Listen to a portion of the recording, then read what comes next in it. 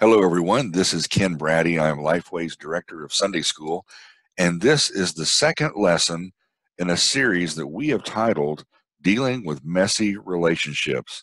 Last week, we looked at the first trait that every believer needs if they want to have healthy, unmessy relationships, and that was the trait of love. Today, we're going to take a look at the second trait that believers should exhibit in their relationships, and that is to be encouragers and to be a source of encouragement for others. I hope that you have someone in your life who is an encourager, maybe just that natural encourager, and, and they lift you up. They make you feel great. They always have your best interest in mind. Maybe that's a great friend that you've got, and you would say, That's the person in my life who naturally encourages me. It might be that you've got a really great boss. Maybe it's that person. It could be someone much closer to home, maybe a, a husband or a wife. It could be uh, it could be someone in your uh, immediate family. But I hope that you've got somebody that you could say they are a natural encourager to me because you know we always can use a good daily dose of encouragement. Life's hard, and we need people around us that will encourage and lift us up. You know, my son, Ryan, is a huge Nashville Predators fan, our hockey team, and he loves going to the games. The games are loud. The home crowd here in Nashville is just absolutely nuts about their Nashville Predators. And he loves going to the game because the Nashville Predators, when they play at home, absolutely have the home field advantage. And that's because the fans love to encourage their team and to push them on to victory. So our lives and our relationships, you know, they can grow weak without encouragement. But there's a Bible character whose name was Barnabas, and he was a natural encourager. And we're going to take a look at a glimpse from the uh, book of Acts, and we'll see a few instances where Barnabas was a tremendous encouragement to another famous person in the scripture. Well, Bible Studies for Life always has one main point, one big idea that if we can remember this as we live this out and as we move beyond this Bible study next week, let's just remember that encouragement strengthens relationships. Let's remember that. That's the main idea in this Bible study. Well, Bible Studies for Life is divided into three sections of Scripture as we study the Bible in our groups. And so the first section of Scripture comes from the book of Acts, chapter 9, verses 26, 7, and 8. And here's what the Scripture says it says, When he arrived in Jerusalem, this is, we're talking about the Apostle Paul, who at this time his name was Saul, the arch enemy, the persecutor of the church it says that he tried to join the disciples. This is after his Damascus Road conversion when Jesus Christ called him on the road to Damascus and made him a disciple, brought him into the fold of the disciples. And it says that as he tried to join the disciples, they were afraid of him since they didn't believe he was a disciple.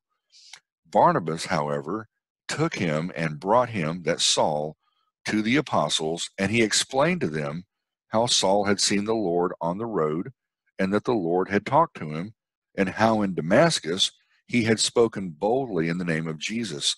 Saul, in verse 28, it says, he was coming and going with them in Jerusalem, speaking boldly in the name of the Lord. And so, you know, some things can be, you know, the old adage, some things are more caught than taught and it seems like this is the the the situation with Barnabas. He is somebody that is worth watching. Maybe we can watch and see how he he lived his life, and then catch and and do what he did. You know, we can watch and see how he acted. So here's one thing I want you to that you I want you to see here is that we can we can encourage acceptance. So Barnabas, he first popped up in Scripture. Did you know this? As Joseph of Cyprus. You can look in Acts chapter 4, verse 36 to check that out. Now, the apostles had given him the nickname Barnabas, which means son of encouragement. So hmm. apparently, this man had developed a, a sterling reputation for building other people up.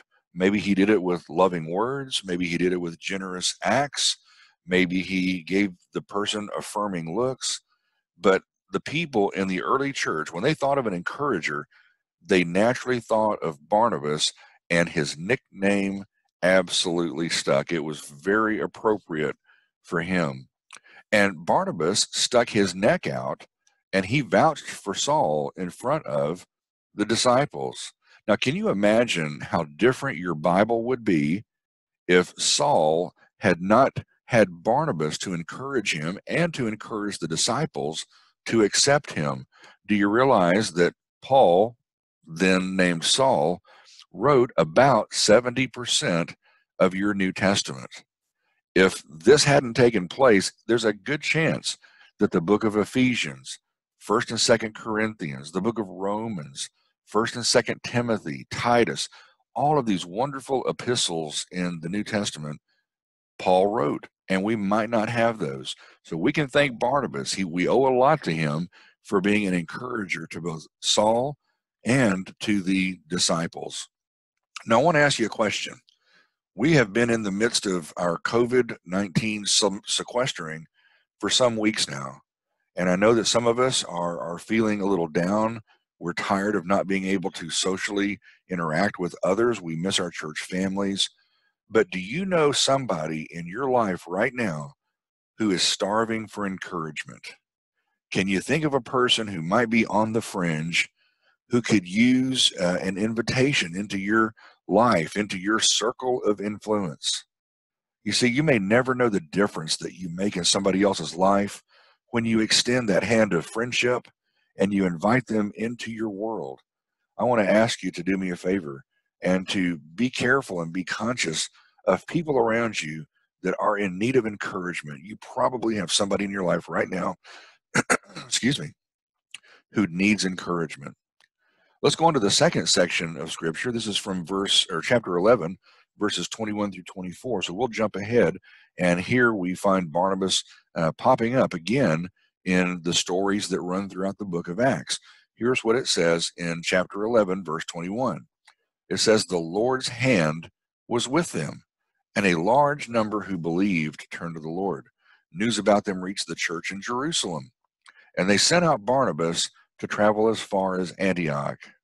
When he arrived and he saw the grace of God, he was glad, and he encouraged all of them to remain true to the Lord with devoted hearts. For he was a good man, full of the Holy Spirit and of faith, and large numbers of people were added to the Lord. So we find here another way that we can encourage people. We can encourage growth. Here's what Barnabas did. He he encouraged believers to grow spiritually. You see, the the disciples in Jerusalem sent him on a mission. He traveled 300 miles north to Antioch. That was not an easy journey. And many Jews in Antioch had embraced Christianity. And as a result, Greeks in the region, they were coming to faith in Christ. And so the disciples sent Barnabas to go check out what was going on in Antioch. What was God up to? And he was to go and look and bring them back a report.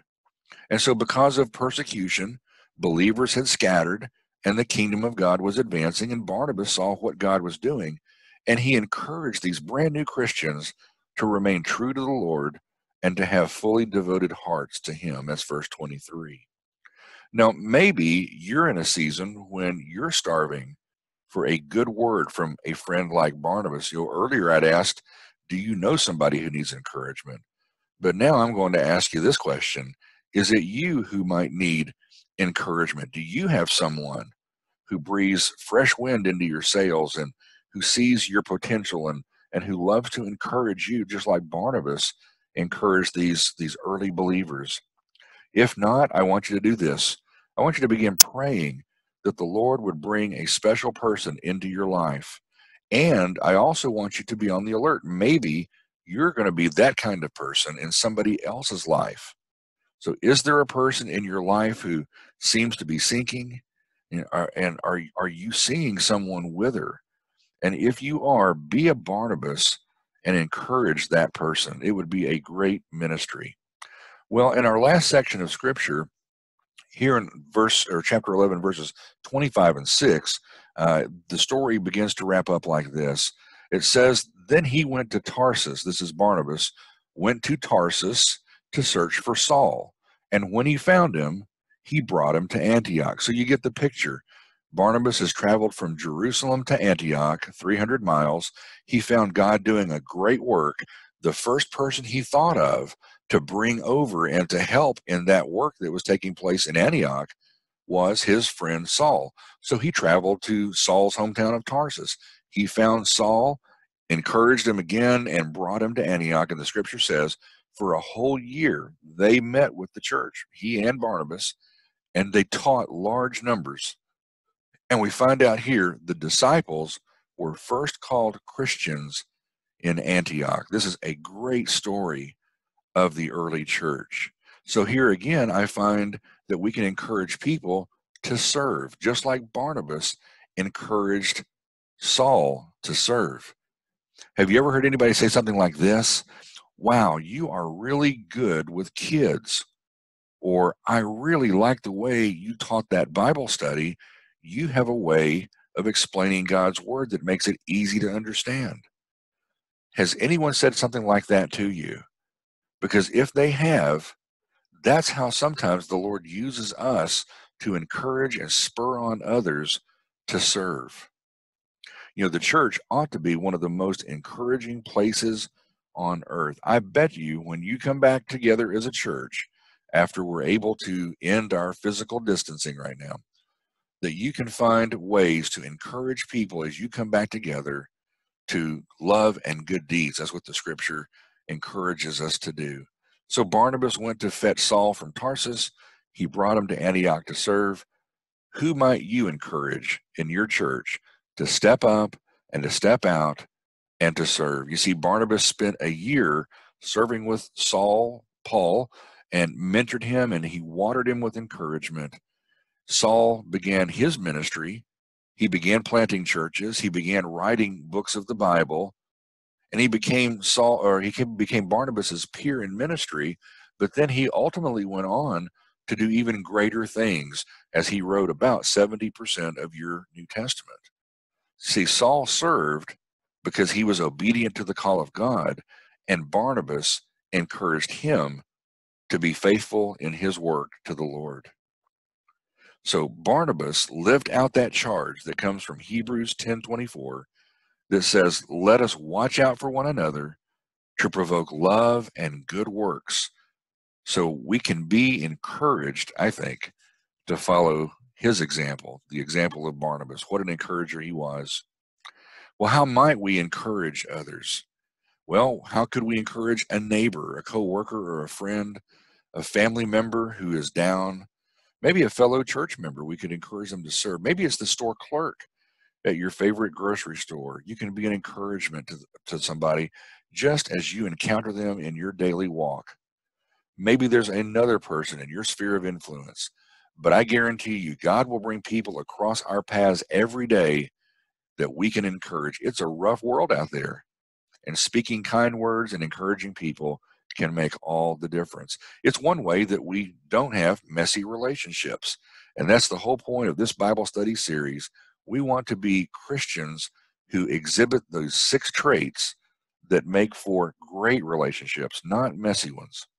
Well, Bible Studies for Life always ends its studies with some ideas for how do we apply and live out the scripture.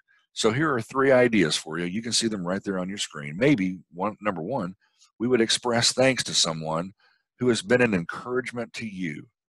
Maybe send them a note, shoot them an email, and just say, I want you to know from time to time you say a, a good word over me, you encourage me. That's been so important in my life. Let them know how important they've been. Number two, evaluate your life and consider whether people are encouraged by your example and your actions. I sure hope that they are. And if not, it's time to change that. Number three, encourage each other. Share ways that each person in your group lives out one or more of these character traits of the fruit of the Spirit that we find in Galatians chapter 5.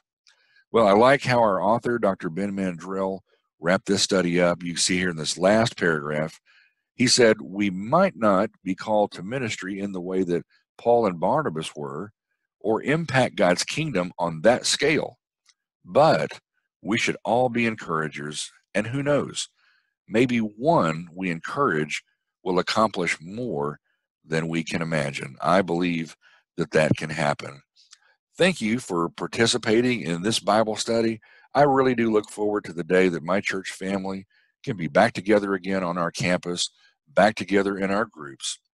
And I hope that you're feeling the same thing, that you're you're sensing just how important the people of God, your brothers and sisters in Christ, those those fellow members in your church, how important they are in your life as a believer. I hope that we come back from our COVID 19 sequestering with a new appreciation for one another.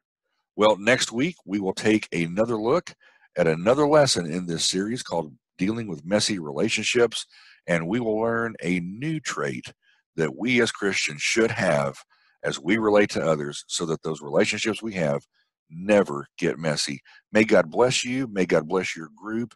You be safe, and I will see you in about a week for another session here in Bible Studies for Life.